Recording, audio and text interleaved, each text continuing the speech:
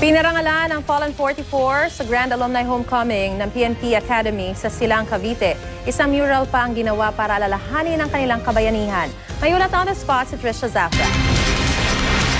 Trisha, Maris sumentro ang pagdaraos ng 35th Grand Alumni Homecoming ng Philippine National Police Academy sa pag-alala sa kabayanihan ng mga miyembro ng Special Action Force na nasawi sa Mamasapano, Maguindanao noong January 25. Nagkaroon ng wreath laying sa Kalasag Memorial sa mga nalagas na alumni ng PNPA kasama ang anim na miyembro ng SAF 44 na nagtapos sa PNPA. Binigyan din sila ng 21 gun salute.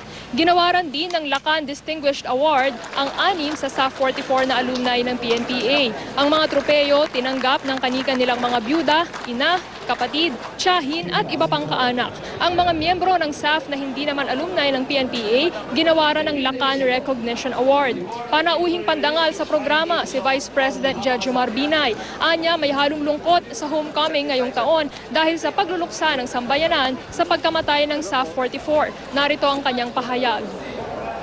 This pain has led to hard questions and urgent calls for just resolution. We do not need any document to say that the four gallant men of the SAF and their 15 wounded comrades had the greatest love for their brothers in their units and the nation that they all vigilantly defended. They deserve to be honored. Nang magkaroon ang media na tanungin ng Vice Presidente tungkol sa inilabas na report ng Board of Inquiry kahapon, sinabi ng Vice Presidente na hindi pa raw niya ito nababasa at makabubuting hintayin munang mabasa niya ang kabuang report bago siya magkomento rito. Sa lobby naman ng Academics Hall ng PNPA, isang mural ang isinapubliko.